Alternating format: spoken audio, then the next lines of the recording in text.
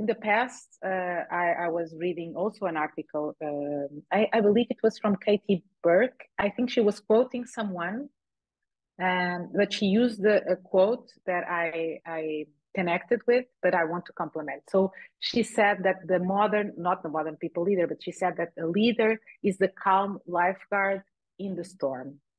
I agree. I, I in that time I needed to read that.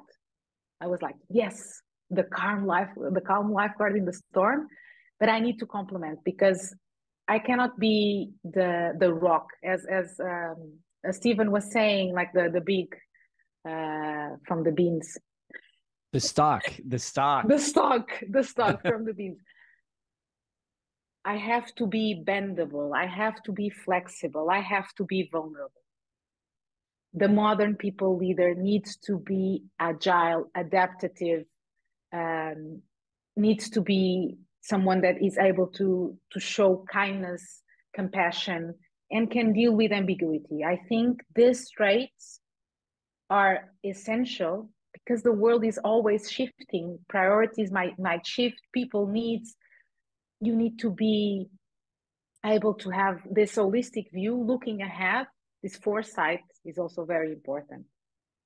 Um, and I think this this is also a trait that is usually not uh, mentioned as as as as I, I, would hope, which is creativity. I think the modern people leader needs to be creative.